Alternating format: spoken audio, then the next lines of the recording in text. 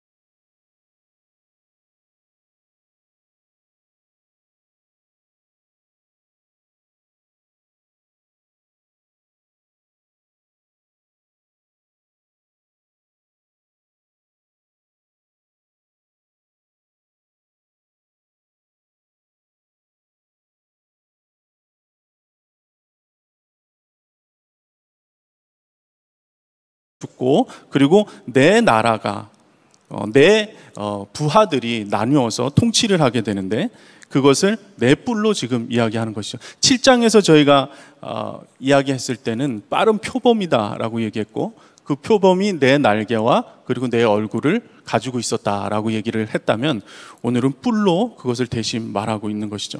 이게 알렉산더 대왕이 죽고 나서 네 명의 장군, 장군들이 제국을 나눠 갔는데 하나는 마케도니아 그리스 지역에는 카산드로라는 장군, 그리고 터키와 소아시아는 리시마쿠스, 그리고 시리아 지역은 셀레우코스, 이집트와 팔레스타인 지역은 푸톨레마이오스 장군이 네 개의 나라로 나뉘어집니다.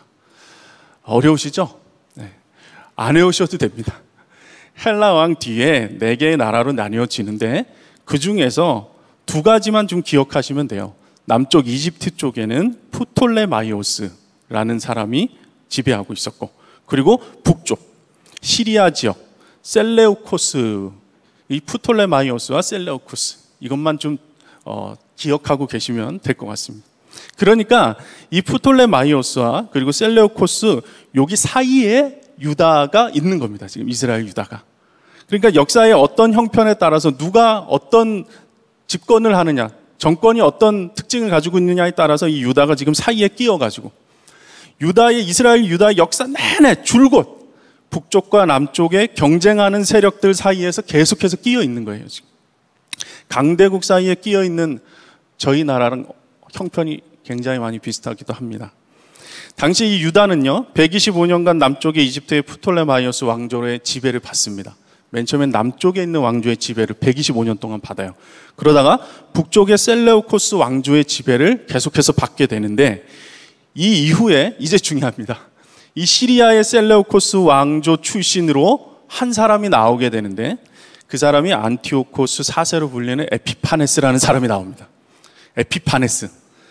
이때부터 끔찍한 박해가 시작되는 거예요. 구절 말씀에 그 중 한 뿔에서 또 작은 뿔 하나가 나서 남쪽과 동쪽과 또 영화로운 땅을 향하여 심이 커진다. 이 작은 뿔이 바로 에피파네스를 얘기하는 것이죠. 저희가 7장에서 말할 때 작은 뿔이 나왔습니다, 이미. 근데 그때는 정확히 알 수 없는 적그리스도다 이렇게 표현했다면 오늘 말하는 이 작은 뿔은 정확하게 역사와 일치하는 이 안티오코스 4세 에피파네스를 말합니다. 그는 주전 175년부터 163년까지 12년간을 다스립니다. 그러니까 이 12년 동안 기독교인들을 엄청나게 학대하고 죽였다는 거예요. 이 에피파네스라는 뜻의 이름이 뭐냐면 신이 나타났다. 그러니까 내가 신이다 이런 뜻을 가지고 있거든요. 그러니까 그 이름대로 실제로 자신이 신이라라는 이런 몽상에 빠져 있었어요. 엄청나게 유대인들을 학대하고 박해합니다. 오늘 말씀에서 그 얼굴이 뻔뻔했다라고 얘기하고 그리고 속임수에 능하며 거룩한 백성들을 멸할 것이다 그렇게 얘기를 하는 거예요. 수만 명의 유대인을 죽입니다. 매일 드리는 제사를 없애버리고요. 그리고 성소를 헐어버렸습니다. 예루살렘 성전 안에서 돼지 피를 가지고 흘려서 그리스의 신 제우스에게 제물을 바치면서 재단에 어, 다른 우상을 세워서 신성 모독 죄를 저지릅니다. 12절 말씀에 그의 악으로 말미암아 백성이 매일 드리는 제사가 넘긴 바 되었고 그것이 또 진리를 땅에 던지며 자의로 행하며 행하여 형통하였더라 이렇게 얘기를 하는 거예요.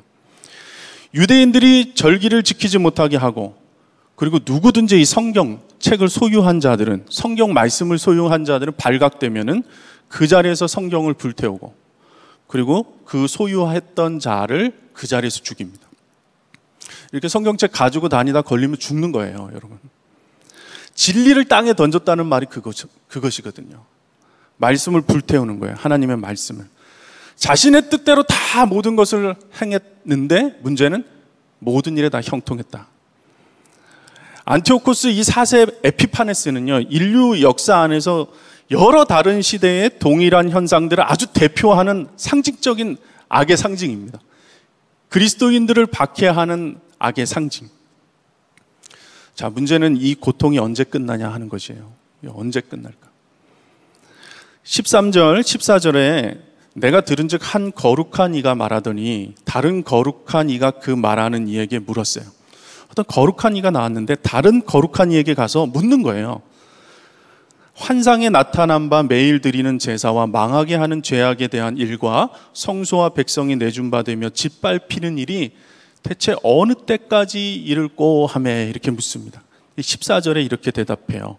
그가 내게 이르되 2300 주야까지니 그때에 성소가 정결하게 되리라.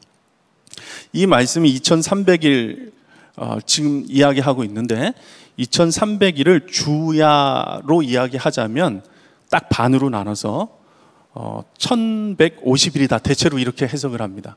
근데 이렇게 해석을 하는 이유가 뭐냐면 그 에피파네스가 성전을 완전히 더럽히고 신성을 모독한 날로부터요. 3년 후에 무슨 일이 일어나냐면 1150일이면 대략 3년 정도 되는 기간이거든요. 박해를 받다 받다 이 유대인들이 민중 봉기를 일으킵니다. 마카비 형제가 일어나서요. 봉기를 일으키고 한거를 해요. 그리고 나서 성전을 기적적으로 다시 회복하는 역사가 일어납니다. 그리고 그 성전을 정결하게 하고 다시 주님 앞에 헌당하면서 박해가 끝나게 되거든요. 그게 주전 한 164년경입니다. 그 날짜 정도가 될 것이다. 성전을 빼앗긴 날로부터 다시 회복한 날짜가 한 1150일 되니까 이 날과 대략적으로 근접했다는 거예요. 아, 여러분, 근데 문제는 지금 이것을, 이런 역사를 지금 우리는 아니까 해석이 가능한데, 다니엘은 지금 어떤 마음이었을까를 우리가 오늘 좀 보기를 원하는 거예요. 알 리가 없잖아요. 이 숫자에 대해서 앞으로 일어날 일에 대해서 하나님께서 이야기를 해주시고, 신구약 중간사 400년 역사, 그리고 이 미래의 일까지도 다 지금 보여주시는 거거든요. 오늘 이 꿈을 가진 자, 그 사람의 무게를 가지고 한번 좀 기도하고 묵상해 봤으면 좋겠어요. 그 처한 현실이 지금 다니엘이 처한 현실이 보세요. 너무 감당이 안 되는 얘기인 거예요. 지금도 포로 상태인데 이 포로 상태가 이 바벨론 시대의 이 포로 상태가 벨사살 왕은 엄청나게 신성 모독한 자라고 말씀드렸잖아요. 이것이 언제 끝날지도 모르는데 그 이후에도 계속 다른 제국이 이어질 거라고 얘기하고 있는 거거든요. 박해에 대해서 그리고 신성 모독에 대해서 성전을 빼앗기는 일에 대해서 계속 이어질 거라는 거예요. 감당이 안 되는 거예요. 그가 어, 17절 말씀 보면 내가 선 곳으로 그가 나왔는데 그가 나올 때에 내가 너무 두려워하고 얼굴을 땅에 대고 엎드림에 그가 내게 이르다 인자야 깨달아 알라 이 환상은 정한 때에 꼭 끝날 것이야 정한 때에 끝날 것이다 끝날이라고 지금 하나님께서는 계속 말씀하고 계신 거거든요 근데 다니엘의 지금 현실은 안 보이는 거예요, 그 끝이. 그러니 하나님의 끝을 믿지만 또 현실은 너무나 너무나 어려운 상황, 언제 끝날지 모르는 그 상황 가운데 거의 기절할 정도로 땅에 엎드려서 깊이 잠들었다. 18절 말씀 보면 그가 내게 말할 때에 내가 얼굴을 땅에 대고 엎드려 깊이 잠들매 그가 나를 어루만지셔서 일으켜 세우셨다. 그렇게 이야기를 해요. 간신히 주님의 손길로 그를 어루만질 때 일어났다. 여러분, 역사 속에 이렇게 극단적으로 기독교인들을 박해하는 역사는요, 지금도 이어지고 있어요. 이 에피파네스와 같은 경향을 가진 일들이 지금도 너무 많이 일어나고 있죠.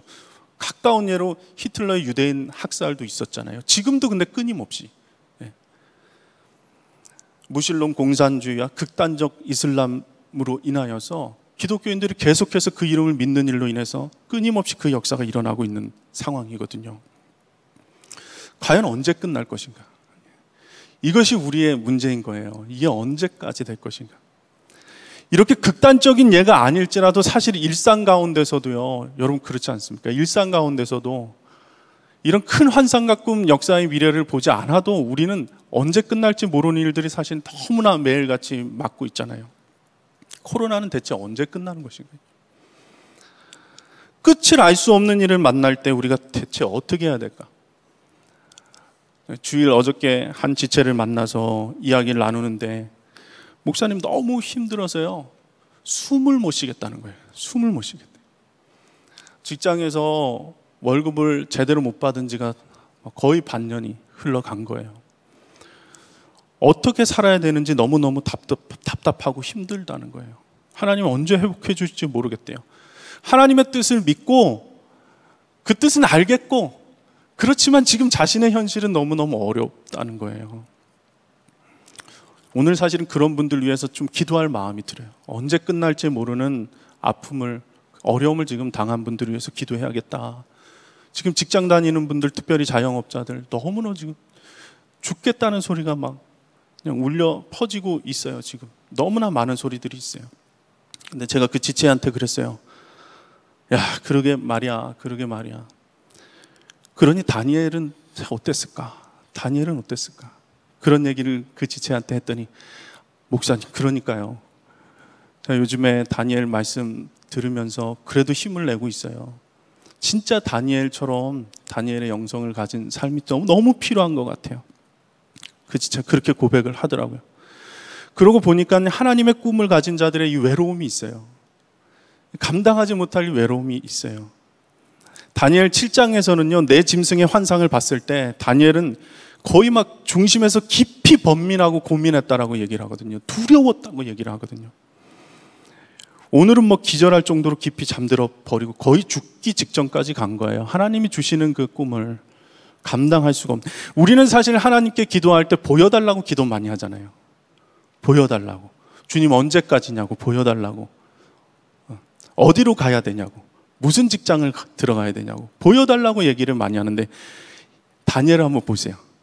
보여줘도 감당이 안 되는 거예요, 사실은. 예. 왜냐? 하나님이 보여주시고 싶은 것과 우리가 보고 싶은 게 너무 다르니까. 제가 먼저 이 다니엘 말씀 묵상하면서 함부로 보여달라고 해서는 안 되겠다. 그런 생각을 했어요. 함부로 보여달라고 해서는 안 되겠다. 그리고 또 하나 너무너무 감사했던 건 뭐냐면 보이지는 않더라도 주님이 말씀을 통하여서 이미 우리에게 다 이야기를 해주시고 있다는 게 너무너무 감사한 거예요. 예, 환상과 기적을 보는 것보다 하나님께서 우리 수준에 딱 맞도록 너무나 정확하게 이 말씀을 우리에게 주셨다는 건 그러니까 말로 할 때 잘 듣자. 이 마음이 제가 들더라고요. 말로 할 때.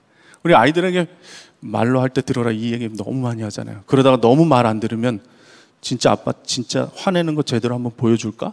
막 이렇게 거의 경고가 가는 거잖아요. 보여주지 않더라도 주님이 주신 이 말씀으로 깨닫고 알아 주님의 뜻대로 살아갈 수 있다는 것 자체가 사실은 너무너무 감사하다. 그리고 주님이 언제 끝나는지 알려주신다고 해도 사실은 거의 해석할 가능성이 없습니다. 네. 주님의 시각에서 주님의 역사는 알파와 오메가시거든요. 우리의 삶은 그 가운데 점도 안 되는 삶인데 하나님의 그 나라의 완성에 대해서 아무리 이야기를 해주시고 말씀해 주셔도 우리가 거의 해석할 가능성이 없다는 거예요. 끝을 자꾸 날짜로 해석을 하고 그때가 언제다라고 말하는 건 거의 대부분 이단입니다.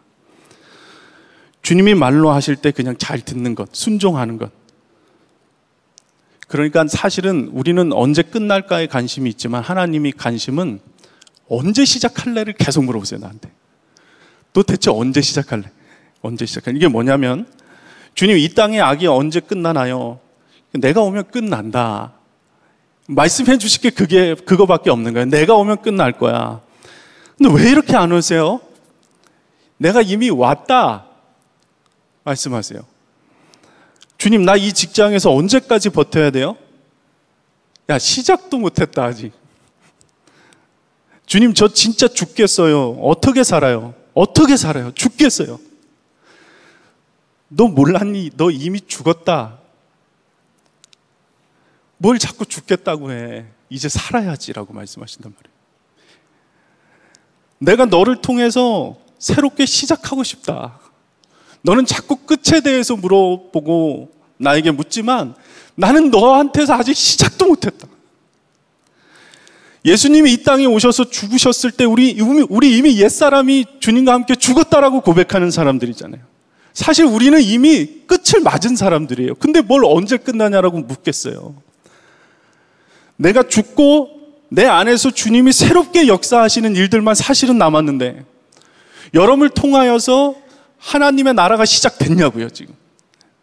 여러분이 계신 가정에서 지금 일하는 직장에서 정말 너무나 알 수 없는 막막한 그 현실 가운데 하나님의 나라는 시작되었냐고요. 자꾸 살고 싶어요. 언제 끝나요? 그 부활의 능력, 주 예수 그리스도의 은혜는 언제 흘러갈 수 있을까? 여러분, 때로는 지치고 쓰러질지라도 주님은 다시 회복시키셔서 우리를 통하여서 하나님 나라가 흘러가고 시작되기를 너무너무 원하세요. 아이가 배가 아파서 어렸을 때 다 경험 있으시잖아요. 배 아파 있으면 엄마가 배를 문지르면서 엄마 손은 약손, 엄마 손은 약손 그렇게 이야기하면 그냥 스르르 이렇게 잠이 들잖아요. 근데 엄마 손이 무슨 의학적으로 효과가 있는 것이 아니라 엄마가 나와 함께하고 엄마가 나를 사랑한다라는 그것으로 인해서 굉장히 정서적으로 만족을 얻고 또 회복이 되지 않습니까? 예. 다니엘이 완전히 지쳐서 깊이 거의 기절 상태에 있을 때 주님이 그를 어루만지시거든요. 아무리 지쳐도 힘들어도 여러분 오늘 이 어루만지시는 주님의 손길을 기도할 때 느끼게 되실 것을 믿으시기 바랍니다. 27절 말씀이에요. 이에 나 다니엘이 지쳐서 여러 날 앓다가 일어나서 왕의 일을 보았느니라. 내가 그 환상으로 말미암아 놀랐고 그 뜻을 깨달아 아, 사람도 없었 다 이렇게 얘기를 해요. 그러니까 지쳐서 알았어요 다니엘도 너무나 큰 환상 가운데 그리고 자기의 현실과의 다른 해석이 안 되는 일들 가운데 너무너무 지치고 알았다고 그렇게 표현해요. 다니엘도 몸이 아팠다니까요. 근데 또 일어나서 왕의 일을 보았다라고 얘기를 해요. 그러니까 내가 지금 환상을 봤어요. 막 앓기 시작했어요. 그러면 지금 금식 기도원을 가야 되잖아요. 그렇죠? 근데 다니엘은 다시 또 일어나서 왕의 일을 보았다. 출근했다는 거예요. 출근했다는 거예요. 여러분, 오늘도 주, 여러분을 어루만지시고 여러분을 통하여서 하나님 나라 일을 이루시기 원하시는 그 주님을 믿음으로 바라보시고 월요병 이기시고 출근하게 되시기를 주님의 이름으로 축복합니다. 아, 내가 오늘 하나님이 나를 통해서 무슨 일을 하실까? 사실은 출근할 때 설레이는 마음으로 가야 하는 것이죠. 오늘 기도할 때 하나님께서 그렇게 회복시켜 주시게 될 것을 믿습니다. 그 믿음으로 함께 기도합시다. 먼저 18절 말씀 붙들고 기도하기를 원합니다. 그가 내게 말할 때에 내가 얼굴을 땅에 대고 엎드려 깊이 잠들매 그가 나를 어루만지셔서 일으켜 세우며 이 말씀을 붙들고 지금 육적으로 영적으로 아주 깊이 잠들어 있는 분들을 위해서 함께 기도합시다. 정말 감당이 안 되는 어, 어두움, 그 힘든 육적의 육적인 어려움 그리고 영적인 깊은 침체 예, 주님께서 어루만져 주셔서 주님 내 마음을 어루만져 주셔서 내 몸을 어루만져 주셔서 다시, 다시 일으켜 세워 주셔서 주님의 이름 부르시 기도합시다. 주여 인도하여 주셔서 감사합니다. 하나님 아버지 주님 내가 두려움 가운데 아버지 언제 끝날지 모르는 그런 아버지 하나님 막막한 현실 가운데 아버지 육신은 약하고 아버지 하나님 나를 통하여서 하나님의 나라가 아직 시작도 하지 못하는 이런 형편 가운데 주님을 바라보며 아버지 주님과 함께 동행하는 오늘 한 주간의 시작이 되기를 원합니다. 아버지 하나님과 시작하게 하소서.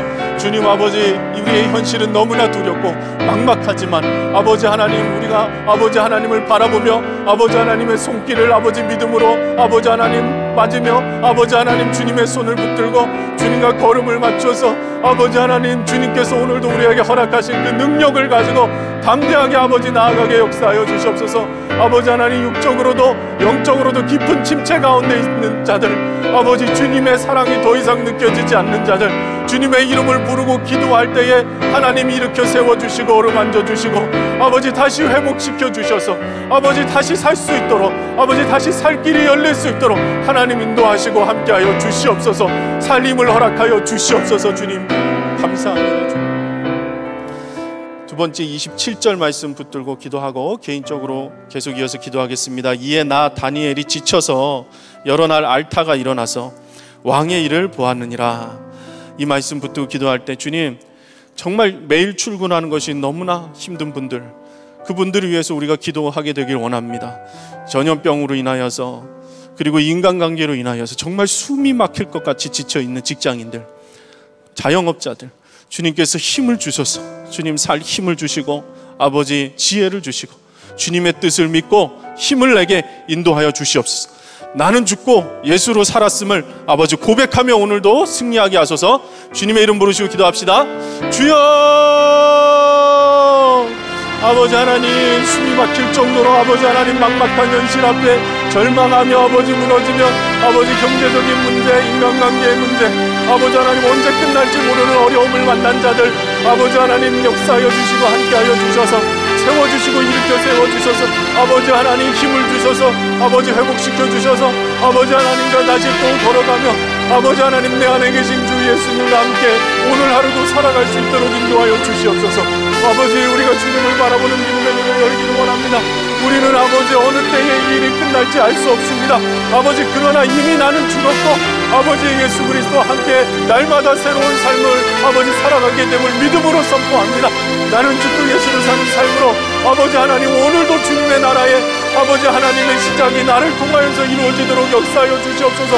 나에게 분명한 사명을 깨닫게 하여 주시고 아버지 하나님 쓰러져 지쳐 있어서 넘어져 있지 않게 하시고 다시 일으켜 세워주시고 주 예수님 정말 앓던 일도 아버지 하나님 일어나. 아버지 진정에서 일어나 기도하게 하시고 아버지 더 보이지 않을 때 확신이 없을 때에 더 믿음으로 기도할 수 있는 우리들로 인도하여 주시옵소서.